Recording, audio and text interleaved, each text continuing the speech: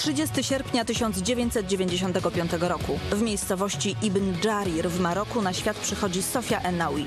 Dziecko wielu talentów. Nie wybiera ani kariery muzycznej, ani naukowej. Stawia na sport. Jest w nim pracowita i twarda, przy tym skromna.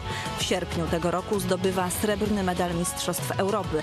Medal dla Polski, gdyby ktoś miał wątpliwości.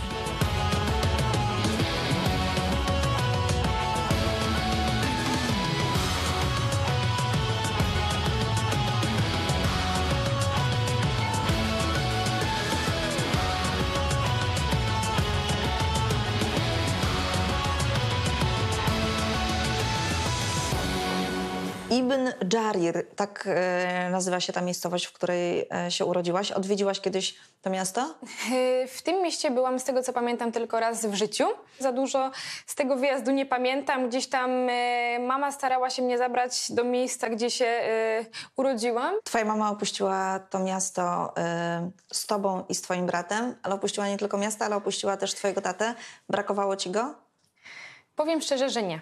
E, dlatego, że ja tak naprawdę nie wychowywałam się z tatą. E, Pierwszy raz zapoznałam go, jak miałam bodajże 11 lat, także to... A także wyprowadziliście się, kiedy miałaś dwa? Ja, dwa latka.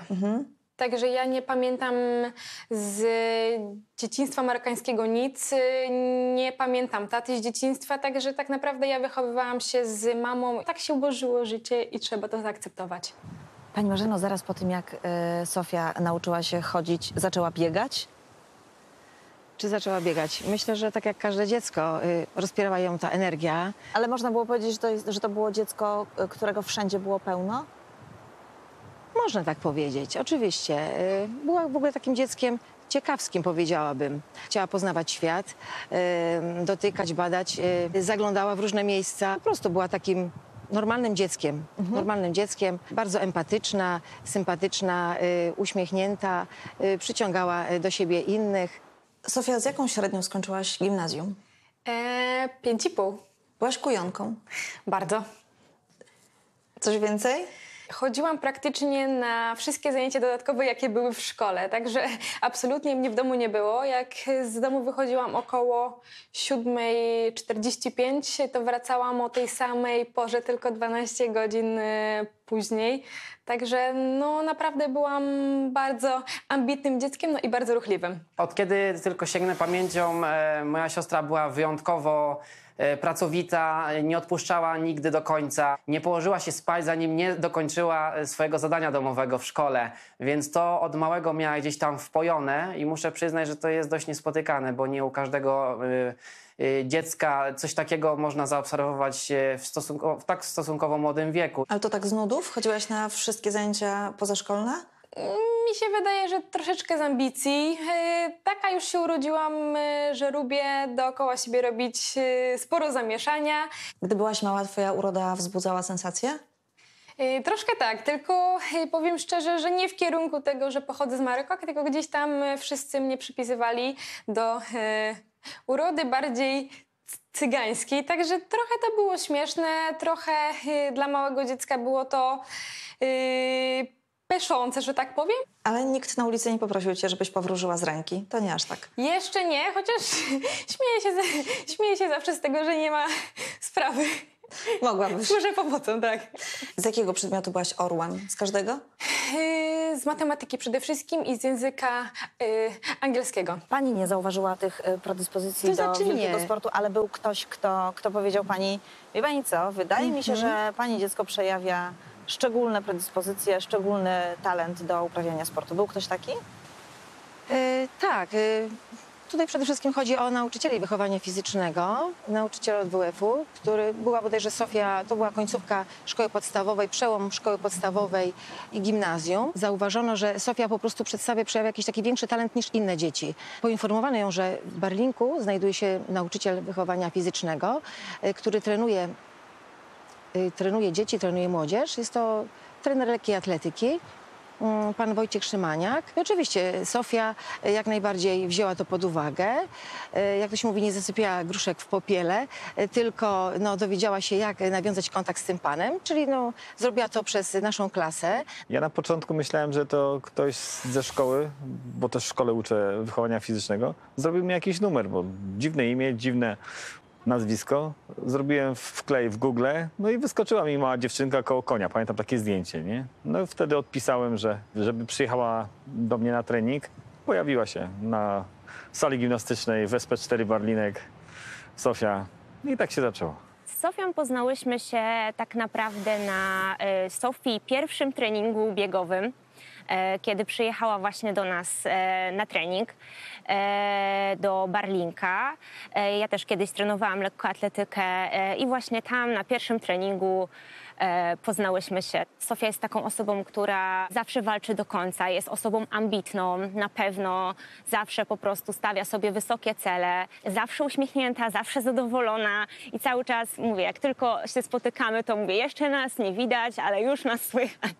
Kiedy ją zobaczył pan po raz pierwszy na treningu, pomyślał pan sobie, uwaga, talent? Nie, nie dopuściła mnie do głosu. Ona już wtedy była wygadana i ciągle mi powtarzała, że ona jest mistrzynią powiatu w sprintach i ona chce sprinty trenować.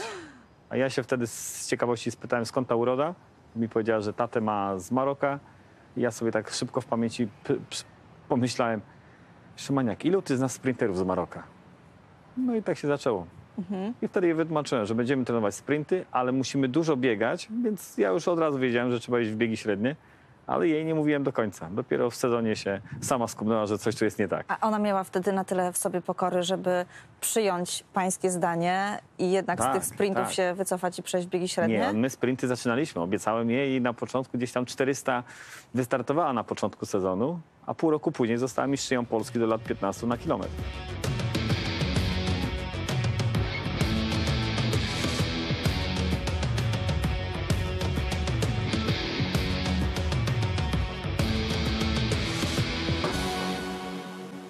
Jak ją obserwuję w biegu na 1500 metrów, to jest gotowy scenariusz na mały dramacik, który się za chwilę rozegra.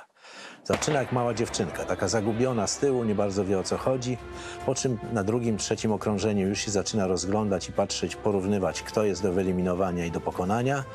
A ostatnie okrążenie to jest ta właśnie iskra szaleństwa, która powoduje, że nagle mamy sytuację, w której goni ta najmniejsza na bieżni dziewczynka wszystkie świetne rywalki i potrafi na razie jeszcze nie wygrywać, ale stawać na podium.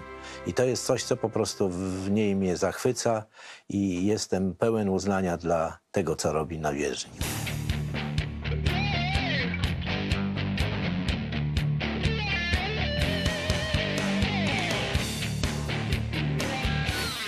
Co zmieniło się w twoim życiu po zdobyciu wicemistrzostwa Europy? W moim charakterze, w moim e, postrzeganiu mnie jako sportowca nic, wśród przyjaciół nic, e, ale zrobiło się dużo zamieszania e, wokół mojej osoby i to chyba tylko tyle.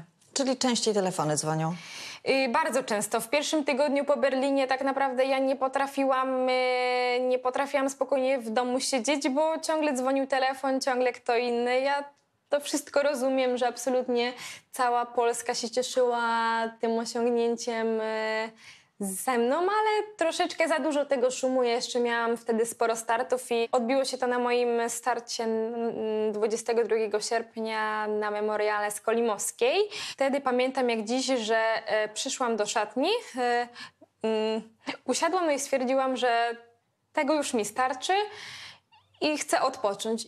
Kiedy poczułaś się częścią tego fantastycznego polskiego lekkoatletycznego teamu podczas Igrzysk w Rio de Janeiro, czy Mistrzostw Europy, kiedy, kiedy zdobyłaś medal? do grona y, zawodników, którzy zasługują na miano tych y, najlepszych lekkoatletów w Polsce. Powiem szczerze, że dopiero gdzieś tam e, się poczułam tym dobrym ogólnie lekkoatletą po zdobyciu medalu w Berlinie. Z tego względu, że gdzieś tam zawsze mi go brakowało. Byłam w czołówce europejskiej, no ale gdzieś tam zawsze brakowało mm, tego dopełnienia. Chciałabym, żeby te osiągnięcia były większe. No i dalej nie, nie czuję się jako topowa lekkoatletka polska, bo absolutnie przy innych ogólnie lekkoatletów, przede wszystkim przy Anicie Wodarczyk, no to ja jeszcze mam sporo do zdziałania. Jaki prezent y, sprawiła ci siostra na urodziny? A muszę przyznać, że to jest chyba najlepszy możliwy prezent, jaki można e, swojemu e, starszemu bratu sprawić. Mianowicie e, wywalczyła srebro na, na Mistrzostwach Europy e, w Berlinie. Jest to do tej pory jej największy sukces sportowy. I muszę przyznać, że na moje okrągłe e, 30 urodziny nie mogłem sobie tak naprawdę zażyczyć niczego lepszego. I mam nadzieję, że Sofia wchodząc w wiek seniorski jako, jako lekkoatletka, tak naprawdę to będzie taka trampolina do sukcesu dla niej. E, I jako mm, osoba, która jest wyjątkowo ambitna i wyjątkowo zawzięta, e, w moim przekonaniu jest to tylko kwestią czasu, kiedy osiągnie jeszcze większy sukces. Jak pani zniosła komentarze po Mistrzostwach Europy a propos pochodzenia Sofii? Była pani wściekła? To znaczy nie, ja tak szczerze mówiąc gdzieś coś tam do mnie doszło. Myślę sobie, no już mieszka tyle lat, prawda, i skąd to się wzięło. Myślę, że y, często to jest tak, że sukces, prawda, napędza czasami tych, te osoby, które y, gdzieś próbują mieszać troszeczkę, prawda, y, takie te złe emocje jakieś y, wprowadzać, ale tak naprawdę uważam, że trzeba zachować dystans. No, Ja się urodziłam w Maroku, także absolutnie ja nie lubię opowiadać czegoś, co nie miało miejsca. Trzeba takie, ze- trzeba takie rzeczy zaakceptować, że mam dwójkę rodziców z dwóch państw. Absolutnie ja tego się nie wstydzę, tylko ja jestem z tego dumna, że mam dwójkę rodziców. Tak naprawdę y, dzięki nim y, otrzymałam parę fajnych cech, y, które mi pozwalają gdzieś tam w tym y, świecie sportu przetrwać. Ale było w tym, Wszystko jest okej. ale było w tych komentarzach coś, co, co ciebie zdenerwowało i pomyślałeś sobie, kurczę, tyle lat mieszkam w Polsce, w ogóle o co chodzi? Absolutnie myślę, że miejsce urodzenia nie powinno decydować o tym, czy ktoś e, się czuje e, Polakiem, czy nie. Ja się w Polsce wychowuję tak naprawdę całe życie. Szkoły, przyjaciół, całą ogólnie rodzinę najbliższą mam z Polski, także ja nie mam nawet takich nigdy myśli, że nie jestem w 100% Polką. Przeżyłaś kiedyś zimny prysznic w karierze, coś, co uświadomiło ci, jak długa jeszcze jest droga na szczyt przed tobą? Zakończenie tego sezonu, czyli nie dostanie się do finału na Mistrzostwach e, Świata w Londynie, pokazało mi, że jeszcze sporo przede mną ogólnie roboty i tak naprawdę wielu wyrzeczeń. Także e, to był dla mnie taki zimny prysznic z tego względu, że ja co roku e, zdobywałam wszędzie medale. Mm, trening i startowanie przychodziło mi bardzo łatwo. A przyszedł taki moment, że ja naprawdę bardzo ciężko trenowałam. Poświęciłam tak naprawdę cały rok e, przygotowań do tego, żeby dostać się do finału w Londynie. No i coś yy, poszło nie tak. Także Wiesz dzisiaj co? myślę, że to przede wszystkim przez mój charakter, przez za dużą e, ambicję do tego, żeby być wszędzie i, no, i zawsze najlepszą. A tak Także się nie abs- da. tak się nie da i trzeba, i trzeba czasami dać sobie taki pas i y, odpocząć. Ja powiem szczerze, że od dzieciństwa nakładałam na siebie dużą presję, dużo chciałam. Potrafisz się wyluzować? Czasami tak, ale rzadko. Znalazłam taki cytat. Czasami współczuję trenerowi, bo chyba nie jest łatwo mnie prowadzić. No to może jest, jest, jest coś w tym dużo. Dlatego, dlatego gdzieś, gdzieś w tym roku się to poukładało. Miejmy nadzieję, że to jest, tak jak ona e, mówi, dzięki profesorowi Blecharzowi.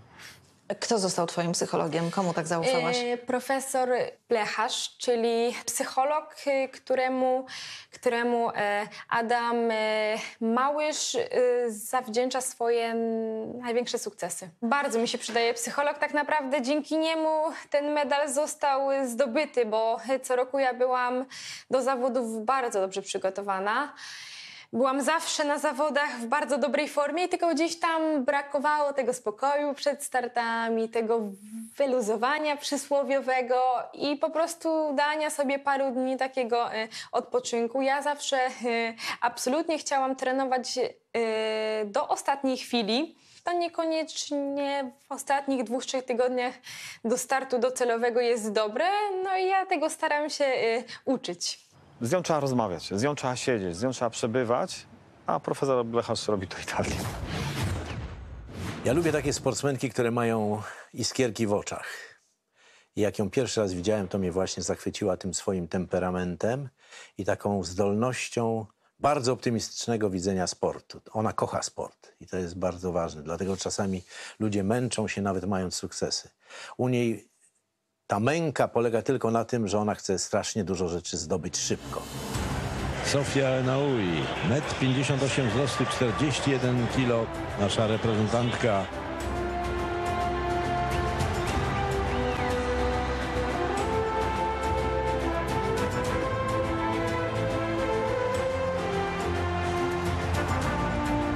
Skąd pomysł, by zadedykować medal Włodzimierzowi Szaranowiczowi? Mm, Wielka sympatia do niego jako dziennikarza.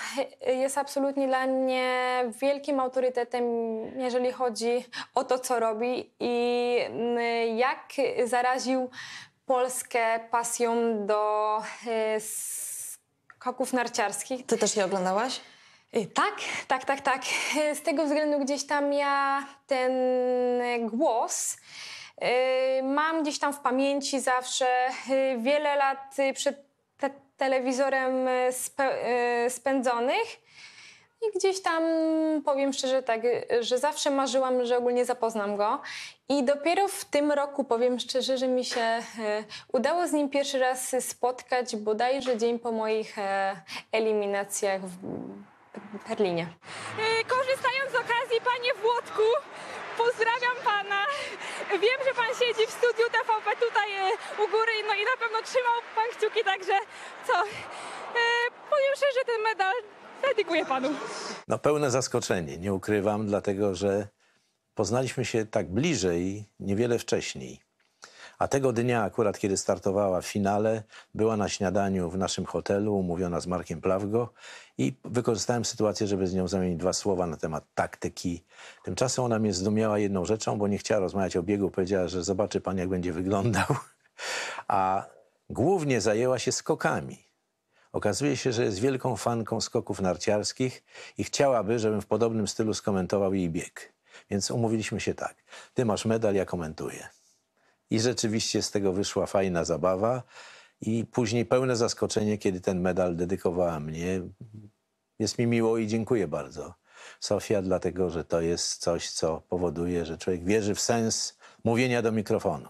Wiesz, jak on się wzruszył? Tak? Tak. Rozmawialiście później? Pierwszy telefon y, otrzymałam mm, po przylocie do Polski z Berlina. Bardzo mi dziękował. No i powiedział mi, że będzie moim du- dłużnikiem. Dla mnie troszeczkę taka sytuacja, która, y, która była dla mnie troszeczkę wstydliwa, z tego względu, że no, no, gdzie taki dziennikarz ma być mi cokolwiek y, dłużny. Te podziękowania po zdobyciu medalu zaraz y, były czymś, y, co było dla mnie automatyczne no i naturalne.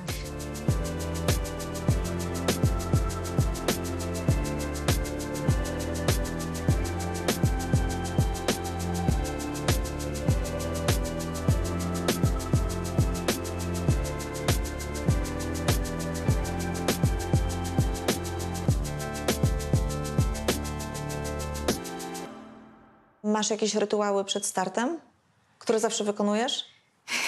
Y, Zawsze sobie zapisuję na telefonie swój cały dzień do startu. Masz telefon tutaj, masz taki plan? Pokażesz mi? Tak. Przeczytasz mi? Tak. Tak, tak, tak, tak. Mam gdzieś tutaj swój plan właśnie. Mm, Teraz przed Mistrzostwami do Europy? eliminacji, tak, Pisałaś? w Berlinie. E, śniadanie siódma rano, ćwi, e, ćwiczenia relaksacyjne no i taktyka e, 8.45 do 9. Przygotowanie na start od 9 do 10. O 10 w- wyjazd na stadion. O 10.30 do 10.50 współpraca z fizjoterapeutą. O 11 em, przygotowanie do startu no i rozgrzewka. 12 e, call room. 12.29 start na 1500 metrów. 12.45 roztruchtanie po starcie. 13.30 do 14 powrót ze stadionu i o 14 obiad. Ja się nie To dobrze. To dobre kosmetyki. Malujesz się zawsze na zawody, prawda? Tak. Lubisz? Y, To daje mi pewność siebie, poczucie kobiecości i taką, no, taką ogólnie chyba nutkę zadziory. Okej. A jakieś amulety, talizmany, hasła motywacyjne? Mam e, przy plecaku zawsze. Y, y, Powiem szczerze, że, y, że zabrałam ze sobą tutaj. E, Szczęście e, sprzyja lepszym. I to hasło daje ci Takie kopa. łatwe hasło, tak. Po prostu. Jak odpoczywasz? Y, Dużo czytam książek, sporo, sp- e, sporo spaceruję. A co czytasz? Mm, banalne romanse. Przyznaję się bez bicia, ale romanse jak typowa kobieta. To znaczy, że cały czas czekasz na miłość w Tak. życiu? Jak każdy, starasz się zawsze uszczypnąć tego tematu, mm, którego ja nigdy nie poruszam. Dobrze. Zofia, ale to, to, to jednak tak ogólnie podejdę do tego pytania. Dobra. Bo tak myślę sobie, ciężko jest znaleźć kogoś, kto zaakceptuje taki tryb życia, jaki ty prowadzisz. Chyba, że będzie to drugi sportowiec. Niekoniecznie. Powiem szczerze, że sporo dziewczyn z e, kadry Polski ma, ma normalnych facetów, którzy niekoniecznie są sportowcami, no ale gdzieś tam e, absolutnie mm, przeży, przeżyli z, z nimi wspólnie wiele lat i do tego trybu życia się e, przyzwyczaili. Czyli jedno wiemy na pewno, facet Sofii nie jest sportowcem. Pomidor. Ile ważysz? E, 43 kilo. I przy takiej wadze czujesz się dobrze? Bardzo. To jest waga startowa, a kiedy jesteś poza sezonem, to ważysz więcej? Ważę więcej nawet do 5 kilogramów. Lubisz dobrze zjeść? A nie wygląda? Nie. Bardzo lubię dobrze zjeść. Powiem szczerze tak. Gdzieś tam y, obdarzył mnie Bóg y, takim organizmem, który bardzo szybko to wszystko spala, no i mogę jeść co chcę. Świetnie. A gotujesz sama? Tak. E, najlepiej co ci wychodzi? Sałatki. Aha. A jakieś takie dania na ciepło, obiadowe? Mm, bardzo lubię piec y, bataty. O proszę, ale też wiem, że lubisz jeść mięso i to rozmawiałyśmy ostatnio nawet tatar. Tak, absolutnie uwielbiam tatara. Wiem, Sylwia, że ty nie. No, trudno byłoby nam wytrzymać na jednej kuchni. Dobrze, czyli, ale jest ktoś, kto pilnuje tej twojej diety? E, mamy dietetyka w e, Polskim Związku Lekki Atletyki, tylko jest e, absolutnie taki wyrozumiały do nas no i dopasowuje się co do diety naszej, że gdzieś tam mamy wskazówki na temat tego, jak mamy jeść, co mamy jeść no i jak wszystko sobie wspólnie skomponować. Powiem szczerze, że nie mamy narzuconego odgórnie, ile mamy zjeść. Ja często jem do oporu, że tak powiem. Słodyczy też?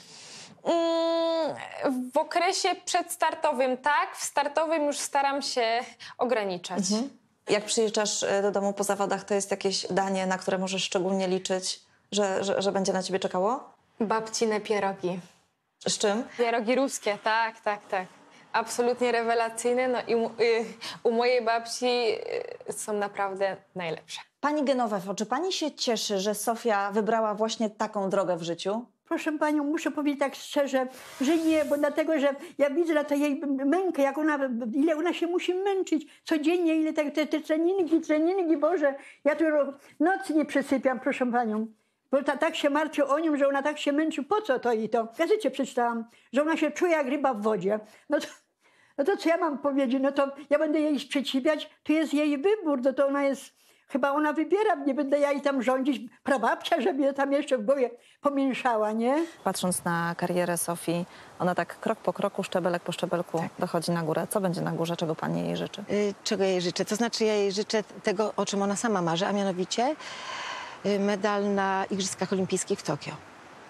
Już za dwa lata. Jak panią widzi na Igrzyskach Olimpijskich w Tokio? Wysoko. Gdy słyszysz hasło Igrzyska Olimpijskie Tokio 2020, to wyobrażasz sobie, że Stoję na podium.